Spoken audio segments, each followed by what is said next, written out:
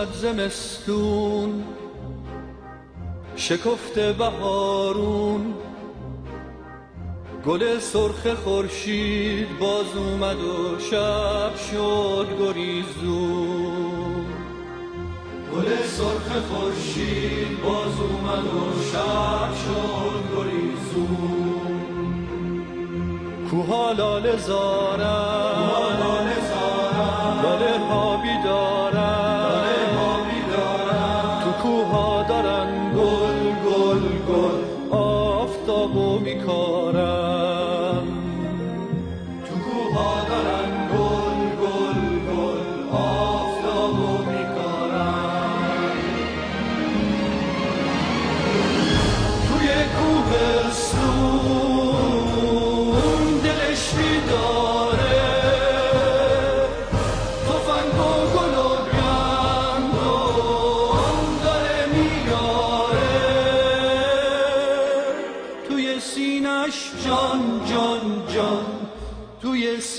aşk.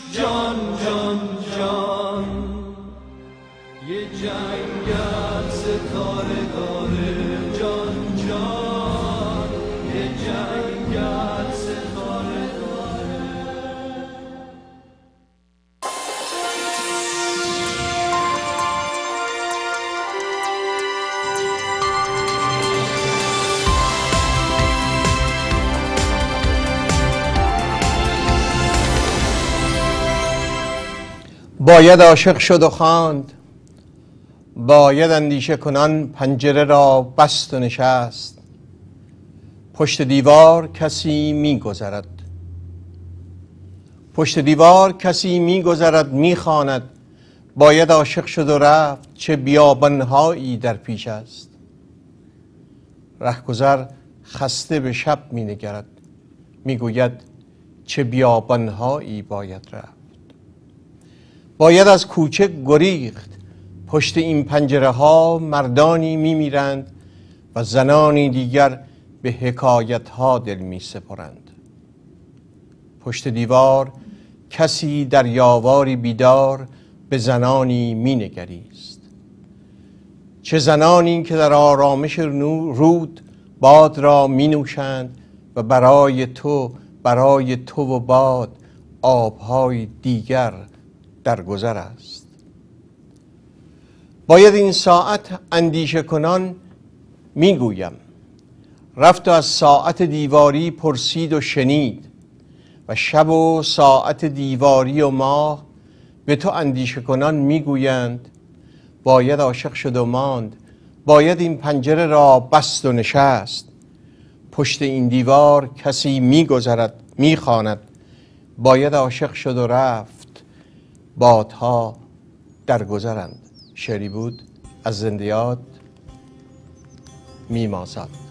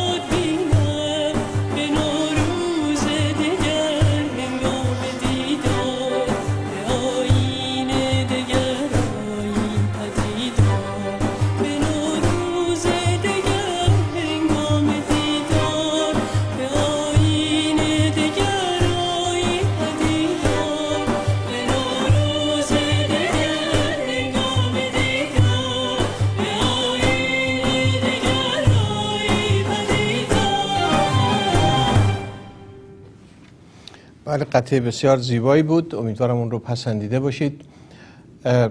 در برنامه امشب اجازه بدید اول سلام بکنم خدمتتون اه، درود بر شما بینندگان عزیز. در هر جا که ما رو می‌توانید تصویر و صدامون رو یعنی تصویر و صدای شبکه اندیشه رو دریافت بفرمایید. قبل از اینکه وارد گفتگوها بشم امروز بهتون مژده میدم که برنامه من از استودیوی دوم شبکه اندیشه پخش میشه و خوشبختانه اندیشه با حمایت آقای مهندس نادر دورمانی توانست که استودیوی دومش رو که امکان تولید برنامه های بیشتری رو به اندیشه میده در واقع آماده بکنه. و این برنامه که من خدمتتون الان عرضه می‌کنم از استودیوی دوم ما که بساطش به مراتب از استودیوی اول مفصلتره و دارای سه تا stage هست برای سه نوع programming و ضبط و پخش سه نوع برنامه. و خلاصه همه تجهیزات مربوطش داره پخش میشه. امیدوار هستم که مورد حمایت جوانها قرار بگیریم و چون تلویزیون اندیشه یک تلویزیون سیاسی است و در راستای فعالیت های سیاسی و فرهنگی سیاسی فر- یا بهتره بگوییم که فعالیت هایی که تعهدش به استقرار میثاق جهانی حقوق بشر هست و مخالفتش با نقض حقوق بشر توسط جمهوری اسلامی ایران داره کار می‌کنه از همینجا اعلام می‌کنم که با امکانات جدیدی که ما داریم می‌تونیم درهای تلویزیون رو به روی جوانهای علاقمندی که مایلن پیامهاشون رو از طریق تولیدات تلویزیونی برنامه های تلویزیونی حتی تهیه فیلم های ویدیویی در راستای مسئله حقوق بشر. و آنچه که مربوط به این مسئله میشه تهیه بکنند این تلویزیون در اختیار اونها هست و داشتن استودیوی دوم به ما این امکان رو میده که وقت تهیه و ضبط تولیداتی از این نوع رو به تناسب فراغت جوانها از تحصیلات دانشگاهیشون درسی که در دانشگاه مختلف می‌خونن یا کاری که دارند بتونیم اه، فراهم بکنیم. بنابراین این دعوت به جلب همکاری جوانهایی است که دل در گرو مسائل ایران دارند. اندیشه بدون هیچ گونه قید و شرطی درهای خودش رو به روی جوانها باز می‌کنه. و حقیقتش رو بخواهید در پی اون هستیم که در پایان سال 1391 چهره جوانها چهره مسلط شبکه جهانی اندیشه باشیم. در این راه ما نیاز به همراهی و همکاری شما داریم. بنابراین اگر داوطلبانی هستند اگر کسی هست که دل مشغول مسائل ایرانه و می‌تواند از بین جوانها در این زمینه به ما کمک بکنه.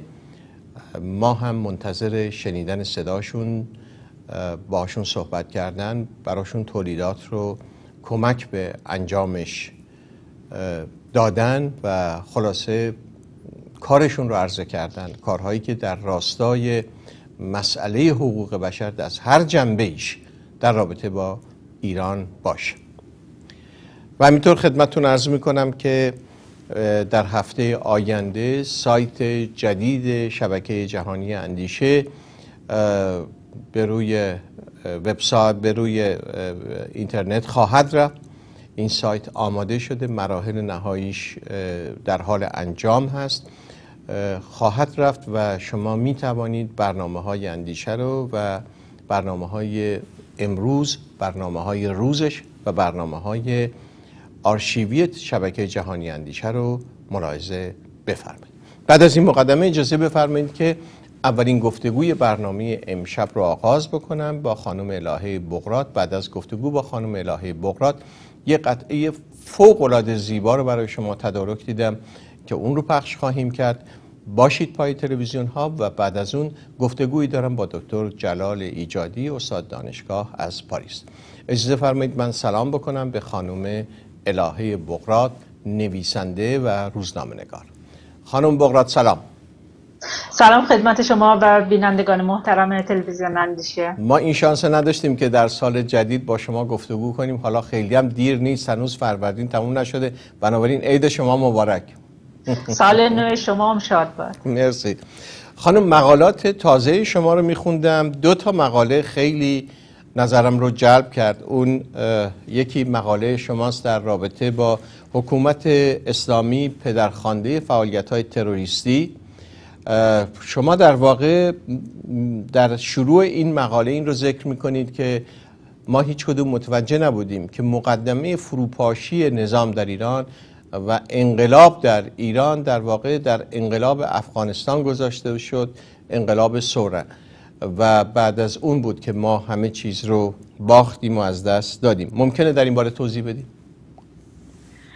بله من اون زمانی که در افغانستان در واقع کودتای کمونیستی صورت گرفت به عنوان انقلاب بهار سال 56 بود. من یادم میاد اون زمان دانشجو بودم. چند تا هم کلاسی در دانشگاه ملی و چند تا هم کلاسی داشتیم از افغانستان که اینها به عنوان دانشجویان اعزامی اون زمان در ایران تحصیل می‌کردن در دانشگاه ملی. به حال خیلی سر و صدا شد و بحث فراوانی در گرفت که چه خواهد شد چه نخواهد شد. خب یه عده خوشحال بودم برای اینکه فکر می‌کردن که یک انقلاب چپ در اونجا روی داده و یه عده خب ناراحت بودن چون نگران این بودن که چه بر سر اون کشور خواهد آمد. ولی به هر حال وقتی تقریبا یک سال بعد انقلاب ایران روی داد البته اون زمان کسی حدس نمی‌زد که در ایران چنین به رویدادهای بسیار عمیق روی بده. ولی الان که سالها از اون زمان گذشته وقتی آدم دنبال یک خط و یک رشته پیوند بین رویدادهای از جمله منطقه میگرده می‌تونه به نظر من موضوع انقلاب افغانستان رو هم به عنوان یک پیش درآمد در جهان آن دوران که جنگ سرد هنوز برجا بود و جهان به دو قطب شرق و غرب تقسیم شده بود در نظر بگیرم خانم بغرات شما در مقاله خودتون در ادامه اشاره می‌کنید به ویژگی های انقلاب افغانستان ایران و آنچه که در کشورهای عربی روی داد و اینکه اینا همشون در زن ستیزی یک وجه مشترک آشکار دارند ممکنه در این باره هم توضیح بدید؟ البته ببینید خیلی معروف هست که می‌گویند درجه پیشرفت یک کشور رو می‌توان از میزان حقوقی که زنان اون جامعه به عنوان نیمی از جمعیت یک کشور ازش برخوردار هستند به اصطلاح ارزیابی کرد.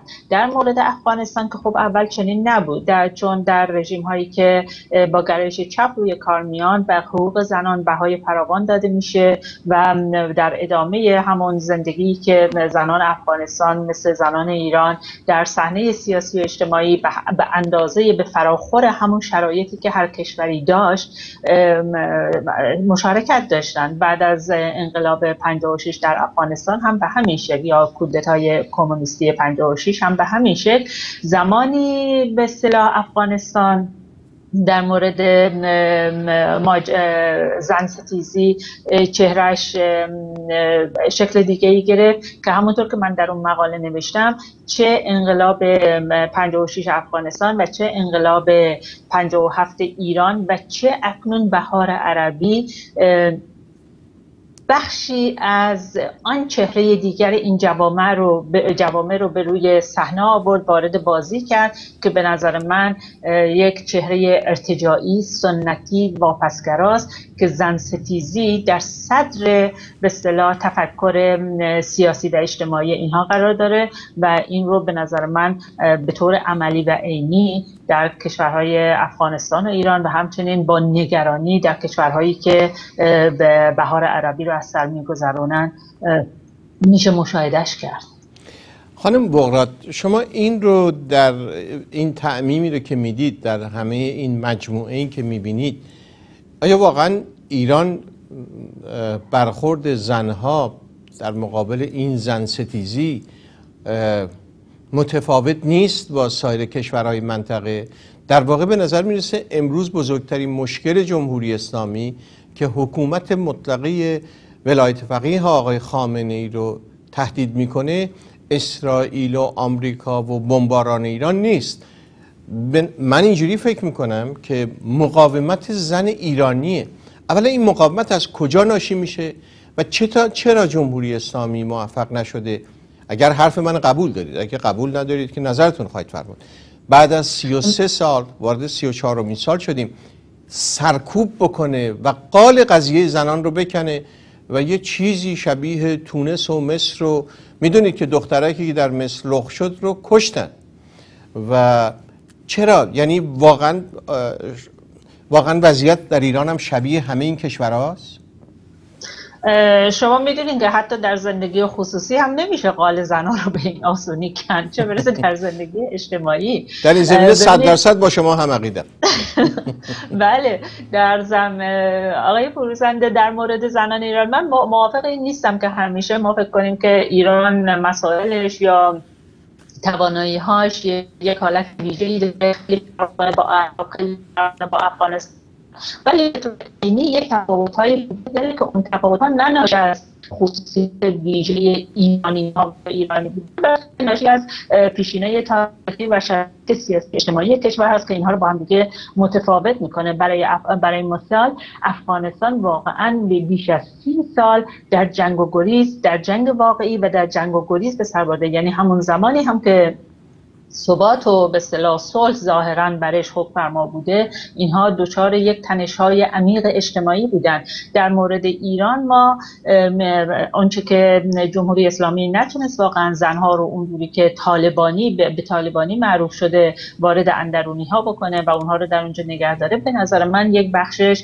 رشد سیاسی و اجتماعی بودش که بعد از انقلاب مشروطه شامل زنان هم شد و در دوران پهلوی ها به هر حال از نظر حقوقی حقوق زنان در بسیاری زمینه ها به رسمیت شناخته شد. آنجایی که زنان تحت فشار قرار می گرفتن اتفاقا در بخش هایی بود که زیر فشار روحانیت و به اصطلاح ملایان برای مثال در زمینه حقوق مدنی و حقوق قضایی دستگاه قضایی مجبور می شدش که یک سری از احکام شریعت رو از جمله در زمینه سرپرستی کودکان در زمینه طلاق در زمینه ارث در واقع به طور تحمیلی این رو بپذیره و رعایتش بکنه. برای اینکه اگر این کار نمی‌شد روحانیون به شکل دیگری خب می‌دونین جریان خرداد 42 رو اعتراضات آقای خمینی به حق رأی زنان رو همه اینها چیزهایی نیستش که کسی ازش بیخبر باشه. با این همه اون رشدی که زنان در مسیر انقلاب مشروطه و بعدا پیدا کردن و در زندگی سیاسی و اجتماعی حضور داشتن به نظر من یکی از مهمترین عواملی بود که اجازه نداد به جمهوری اسلامی تا زنان رو اونطوری که دلش می‌خواد از صحنه اجتماعی بیرون بکنه. به بزرگترین واقعه و به نظر من یکی از مهمترین وقایع اتفاقا این هستش که درست کمتر از Um. یک ماه بعد از انقلاب بهمن 57 زنان اولین گروه اجتماعی بودند که به حرف خامنه ای در مورد اجرای حجاب اجباری به صورت گسترده اعتراض کردند. درسته که مورد پشتیبانی قرار نگرفتن ولی همون اعتراض سبب شد خمینی عقب نشینی بکنه و چه بسا اگر این نوع اعتراضات از طرف زنان از طرف جوانان از طرف جنبش های مختلف اجتماعی مورد توجه نیروها و گروه های سیاسی قرار می و یا در عرصه بین المللی نمودی پیدا می‌کرد جمهوری اسلامی به این سرعت نمی‌تونست خودش رو تحکیم و تصویب بکنه. بر اساس اون اعتراض خمینی عقب نشینی کرد و تحمیل حجاب اجباری بین دو تا سه سال واقعا طول کشید تا تمام به صلاح عرصه سیاسی و اجتماعی رو از اندرونی تا خیابان ها و مدارس و کارخانجات و ادارات دولتی اینها تونستن با حجاب اجباری پوشش بدن و الان کارشون به اونجا رسیده که حتی می‌خواهن مجبور کنن که دختران دانشجو بعد از این لباس یونیفرم و روپوش بپوشند. با این وضعیت ولی ولی هنوز هم زن ایرانی برای سیستم مشکله برای اینکه از طرف دیگه خانم بغراد این سیستم اجازه داد یا امکان رو فراهم کرد با مشروعیتی که به حضور زن چون قبلا زن بر مبنای مشروعیت دینی در صحنه اجتماع حضور نداشت.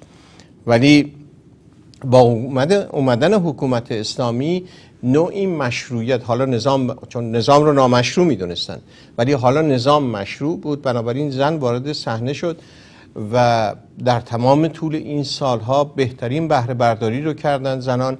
از امکانات آموزشی فرصتهای آموزشی و ما الان با یک جماعت شاید نسبت زنان تحصیل کرده با مدارج دانشگاهی ایران از تمام کشورهای خاورمیانه بیشتر باشه. با یه همچین موج اینها مواجه هستند شما مقاومت زنها رو چگونه توجیه و تبیین می‌کنید؟ آیا فکر می‌کنید که به هر حال زنها موفق میشن یک شکاف اساسی رو در داخل این سیستم بیاندازند با مقاومت چون یا نه رژیم به هر حال به اونجا می‌رسه که سرکوبشون بکنه. اون شکاف آقای فروزنده به نظر من نه تنها از طرف زنان بلکه از طرف لایه های مختلف اجتماعی دانشجویان و جوانان درون رژیم مدت هاست به وجود اومده و این بالاخره هم به نظر من به فروپاشی این رژیم خواهد انجامید. اما اینکه زنان به هر حال عنوان نیمی از جامعه نقش اساسی بازی می‌کنن به نظر من این چیزی که جمهوری اسلامی خودش نمی‌تونه نتیجه بگیره. یکی اینکه در ادامه صحبت قبلی نتونست جمهوری اسلامی اونجوری که باید رفتار بکنه یکی اینه که با شعارها و ادعاهای دموکراسی خواهانه و آزادی خواهانه ظاهرا به میدان آمد. طالبان وقتی روی کار آمد کاملا پلتفرمش و منشورش مشخص بود. می‌خواست جامعه رو اسلامی کنه زنا رو به درون خونه ها برونه و هیچ پنهانکاری هم در این زمینه نکرد و به بهترین شکل اونجوری که خودش می‌خواست این کار رو هم انجام داد در طول پنج سالی که در قدرت بود. اما جمهوری اسلامی با شعارهای دیگری روی کار اومد. بنابراین نمی‌توانست این چنین از جمله زنان رو از میدان به در بکنه. در این حال اون بخشی که شما میفرمایید کاملا درست هست. جمهوری اسلامی به دلیل اینکه ظاهرا یک نظام ظاهرا که نه واقعا یک نظام مذهبی بود. بنابراین بخشی از خانواده های مذهبی و سنتی رو که مانع حضور دخترانشون در سطوح سیاسی و اجتماعی می شدن قانع کرد که چون حالا دیگه همه چیز اسلامی و همه چیز با خدا و با ایمانه پس اینا می‌تونن شرکت بکنن. و این در واقع اون مسیر ناخواسته ای بود که در برابر جمهوری اسلامی قرار گرفت. ولی خب ما این رو هم نمی‌تونیم ندیده بگیریم که به هر حال جهان تغییر می‌کرد. در طول این سی سال اگر جمهوری اسلامی نمی بود چه بسا ما شاهد بیشترین پیش، پیشرفت های بیشتری از طرف زنان و لایه های دیگر اجتماعی می بودیم خانم بارات وقتی شما میفرمایید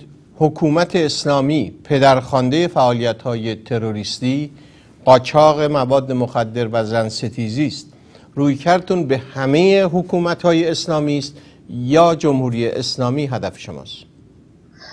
منظور من کلا این هستش که جمهوری اسلامی نظام جمهوری اسلامی به دلیل اینکه در کشور مهمی مانند ایران قدرت رو در دست داره و به منابع اقتصادی بسیار گسترده دسترسی داره پس از به قدرت رسیدن به عنوان پدرخوانده نیروهای اسلامی بنیادگرا و افراطی در منطقه در واقع خودش رو تثبیت کرد. البته می‌دونیم که در این زمینه برای جمهوری اسلامی فرقی نمی‌کنه که چون سیاسی هم فکر می‌کنه فرقی نمی‌کنه که حالا این مسلمانانی که به عنوان حزب الله یا به عنوان خودش که نمیگه تروریست به عنوان جنبش های اسلامی بهشون کمک می‌کنه به چه فرقه اسلامی تعلق دارن. از اون طرف هم می‌بینیم که پرزن مسلمانان چچن اصلا برای جمهوری اسلامی اهمیتی ندارن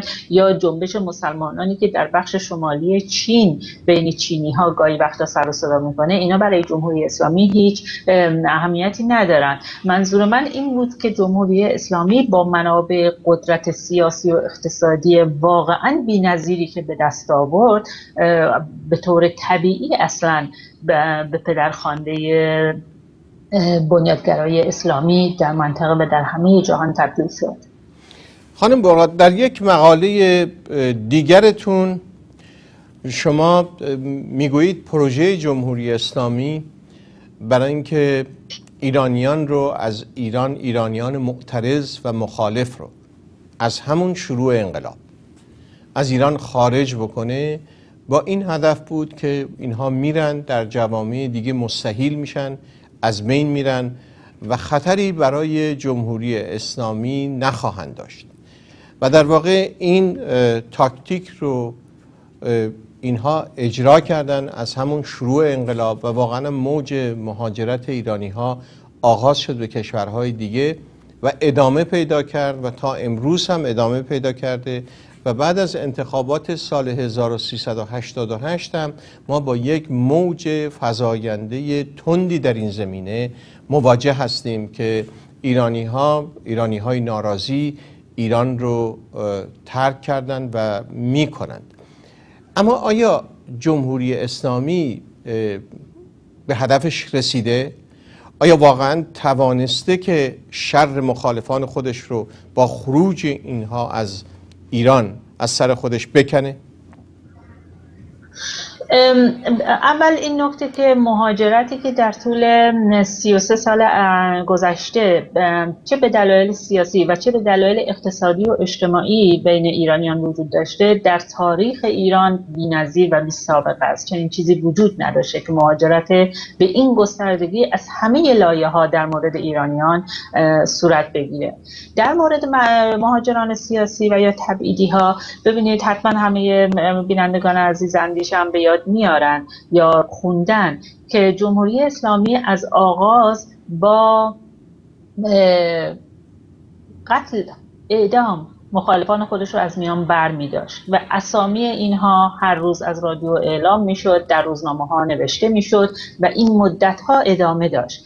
اما پس از اون که دیگه به خصوص از در سال 67 به بعد که اون کشتار جمعی صورت گرفت بعد از پذیرفتن قطعنامه 598 و آتش بس با عراق و اعدام های دست جمعی و به وجود اومدن گروه های گروهی جمهوری اسلامی به نظر من در مورد برخورد با مخالفان یه مقدار سیاستش رو تغییر داد به ویژه اینکه در سالهای بعدی بعضی از این مخالفان و معترضان اصلا از درون خود نظام پیدا شدن بنابراین اینها یک سری رو به هر حال به عنوان اینکه یا زندان بکنن یعنی با یک کجدار و مریض با یک شلکون کن که یه در رو بگیرن یه در آزاد. هنوز هم البته ادامه داره. امروز می‌خونید چند نفر رو آزاد کردن دو روز بعدش چند نفر رو می‌گیرن. این بازی همچنان ادامه داره ولی خب بخشی رو هم اینها ترجیح دادن که چون نمی‌تونن که تا ابد آدم ها رو در زندان نگه دارن. بعدم به هر حال اینها همه کیفرخواست می‌خواد دادگاه می‌خواد نمی‌تونن همینجوری آدم رو به صلاح بی محاکمه مانند دوران در سالهای اول انقلاب اعدام بکنن ولی یا در زندان نگه, نگه دارن. و همین دلیل ترجیح دادم به خصوص اونهایی هم که اسمی در مطبوعات یا یا در مسائل سیاسی و اجتماعی داشتن راهی خارج کشور بشن. برای مثال من یادم میاد که الان مدتی البته از آقای اوسانو خبری نیست ولی یکی از مسائلی که از طرف ایشون مطرح شدش که بهش فشار میارن این هستش که می‌خوان مجبورش کنن که این از کشور خارج بشه. خب این البته یک راه حل موقت برای هست. ولی از طرف من مقاله می اینها یک مجموعه نیروهای مخالف در خارج کشور جمهوری اسلامی نخواسته آورد که هرچه هم بخواد تبلیغات بکنه از طریق مطالب سخیف در روزنامه های خودش. ولی به هر حال اینها یک نیروی مؤثری رو در خارج کشور تشکیل دادن که اگر یک زمانی بتوانند به یک مخرج مشترک در مورد منافع ملی ایران و شرایط کنونی ایران برسن می‌تونه یک خطر واقعی برای جمهوری اسلامی باشه. جمهوری اسلامی این بخش قضیهش به نظر من نخونده بود که با راندن معترضان مخالفان و حتی منتقدان خودش که به اون نظام اعتقاد دارن ولی معتقدن که باید یک کارهایی در اون نظام صورت بگیره یک جبهه بسیار گسترده و قوی رو در خارج کشور به وجود آورد. خانم بغرات این مخرج مشترک چیه؟ این مخرج مشترک رو من بارها هم نوشتم و هم گفتم نه اینکه من بلکه خیلی دیگه هم می‌دونن و میگن ولی خب در بارش اقدام آنچنانی حالا نمی‌دونم شاید هم واقعا یک سال بعد ما نمی‌دونیم در چه موقعیتی قرار خواهیم داشت شاید همه این تلاش ها جواب مساعدی بده. اون مخرج مشترک دموکراسی و حقوق بشر هست. کسانی که به این دو معتقد هستند و پایبند هستند در عمل و در گفتار خودشون در تبلیغات خودشون چه افراد چه احزاب گروه ها این رو به عنوان در واقع هدف خودشون اعلام می‌کنن می‌تونن تمام ایرانیا به نظر من از هر عقیده و فکری که باشن بولش جمع بشن و منافع ملی ایران رو بر اساس این مخرج مشترک تعریف بکنن و شرایط کنونی رو ارزیابی بکنن و در رابطه با این ارزیابی بتونن یک تصمیم عملی بگیرن. به نظر شما اصلاح طلبان داخل کشور و اصلاح طلبان خارج کشور می‌تونن در این دو فاکتوری که شما در به عنوان مخرج مشترک ذکر کردید حضور داشته باشن می‌تونن این رو بپذیرن؟ یا نه؟ من نمی‌دونم می‌تونن اینو بپذیرن یا نه ولی اگر خودشون بخوان فکر می‌کنم آره چرا نه؟ چون اونها هم به هر حال ما آدم ها رو که توی مغزشون نیستیم ببینیم چه, چه چیزی پشت نیاتشون هست. ولی اونچه رو که بیان می‌کنن اگر واقعا همین مخرج مشترک هست همین دموکراسی و حقوق بشر هست ولی معتقدن که در چارچوب این نظام هم میشه به اون رسید خب باید درش یک کاری بکنن. من فکر نمی کنم ببینید یک دو دو خط موازی کنار هم نیست بلکه به در برابر هم هم نیست. در یعنی منظورم در تقابل هم نیست بلکه در کنار هم قرار گرفته و می‌تونه با هم دیگه به یک مبادله به یک گفتگو بپردازه. من فکر نمی کنم هیچ کسی مدافعان دموکراسی و حقوق بشر رو میگم ما می‌دونیم که نیروهایی هستن یا افرادی هستن که به جای دیکتاتوری خودشون به دنبال دیکتاتوری خودشون به جای حکومت کنونی هستن. اونها از بس خارجن. من کسانی رو میگم که مدافع دموکراسی و حقوق بشر هستن و این رو در حرف و نوشته و گفتار و اعمال و ارزیابی و استدلال خودشون نشون میدن. خب اینها وقتی که معتقدن که می شود در حالا نه دموکراسی و حقوق بشر ولی به هر حال جمهوری اسلامی رو می‌توان یه مقدار انسانی تر و بشری ترش کرد من فکر نمی کنم هیچ کسی در میان مدافعان دموکراسی و حقوق بشر که خواهان جابجایی این نظام با یک نظام انسانی هست با این کار مخالفت بکنه. خب اگر می‌توانن انجام بدهند مگر هشت سال دوران اصلاحات کسی مانع اینو شده بود؟ مانع اصلی خود جمهوری اسلامی بود نه کسانی که معتقد به عبور از جمهوری اسلامی بودند.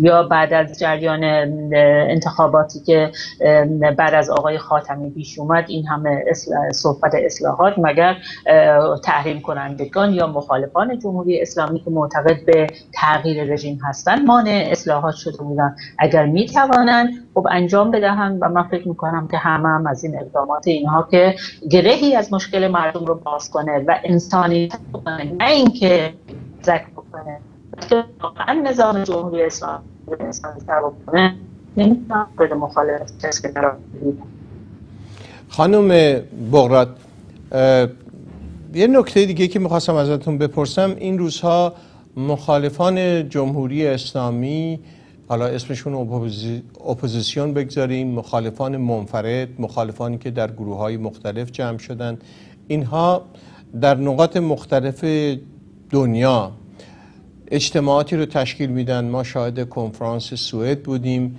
شاهد گرد همایی واشنگتن بودیم و به زودی در نقطه دیگری ما یک گرد همایی وسیع خواهیم داشت. اینها ادامه داره. شما اینها رو در راستای گرد همای نیروهای مخالف. آیا مفید می‌دونید یا نه؟ شما برای اینکه بپذیرید در یه همچین کنفرانس های حضور داشته باشید یک شرایطی یا یک عواملی باید وجود داشته باشه. من فکر می‌کنم اگر فایده ای نداشته باشه زیانی هم نداره. مگر اینکه یک کسانی به دنبال نوشتن زیانهایی به پاش باشن. ما خودم به عنوان روزنامه نگار از اونجایی که دلم می‌خواد به صلاح بیشتر ناظر باشم و راجع به همه اینها نظر داشته باشم. تا حالا هم پیش اومده که به صلاح در فلان کنفرانس یا جلسه شرکت بکنم جواب منفی دادم به دلیل همین مسئله روزنامه نگاری و اینکه به هر حال یک چشم و گوشی بین شماها و مخاطبان شما باید باشه که خارج از همه اینها بتونه البته من تنها نیستم خیلی از روزنامه نگارانم در این جلسات و اینا شرکت می‌کنن من اینو بگم به اونها ایرادی نمی‌گیرم ولی خب این برخورد شخصی خود من هستش. من فکر می‌کنم که همه اینها همونطور که گفتم حتی اگر به جایی هم نرسه زیانبار هم نیست. برای اینکه به هر حال سبب میشه که آدم ها کنار هم جمع بشن صحبت بکنن گفتگو بکنن. این رو توجه داشته باشید که فرزن تا 6 سال پیش 7 سال پیش نشستن این تیپ های گوناگون در کنار هم اصلا یک تابو به شمار می اومد و حاضر نبودن کنار هم دیگه بشینن. به نظر من اینها هیچ ضرری نداره. چرا نباشه؟ در این حال همونطور که گفتم ما نمی‌دونیم که یک سال دیگه در چه وضعیتی خواهیم بود؟ دو سال دیگه در چه وضعیتی خواهیم بود؟ شاید تمامی این تلاش هایی که از سوی گروه های مختلف صورت می‌گیره سرانجام به یک نتیجه ای بیانجامه. ما چرا باید باش مخالفت کنیم؟ حالا اون برای قضیه رو در نظر بگیریم. فرض کنیم اصلا این نشسته و کنفرانس ها تشکیل نشه. خب آیا بهتره؟ مثلا یه فایده ای داره؟ حالا تشکیل میشه. خب به هر حال جمع میشن. صحبت می‌کنن مسائل مطرح میشه همین بحث ها دامن زده میشه در کنار اینها. از اون طرف هم جمهوری اسلامی و یا کسانی که اساسا با همه چی مخالف هستن تبلیغات خودشون می‌کنن. من به شخص هیچ چیز بدی تو این نشسته و کنفرانس ها نمی‌بینم. ولی نکته ای که مهم هست و باید بهش توجه کرد و یا مرتب از طرف کسانی که مخالف هستن یا ایراد می‌گیرن مطرح میشه که اینا تا حالا بارها جلسه گذاشتن نشست گذاشتن به هیچ جا نرسیده. این هستش که حتی پراکندگی نیروهای مخالف معترض یا منتقد در داخل یا در خارج کشور این هست که این ماده ای که مانند چسب یا رشته ای که باید مانند یک نخ اینها رو به هم دیگه وصل بکنه این غایبه. و اون حضور مردم ایرانه.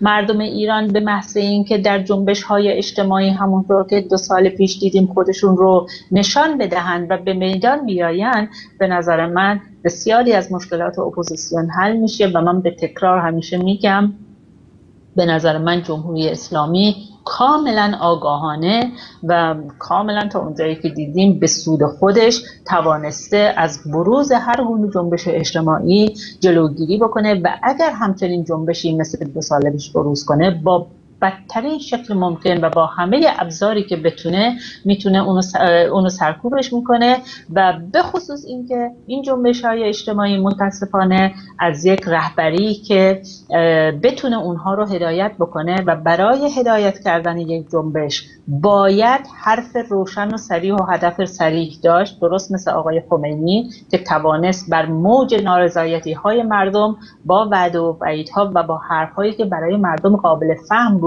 و تصویر یک آینده ای که آدم ها آینده بهتری رو می‌دیدن اونها رو حول خودش جمع بکنه و در مورد جنبش های اجتماعی ایران از جمله جنبش دو سال پیش ما متاسفانه چنین رهبری رو نداشتیم.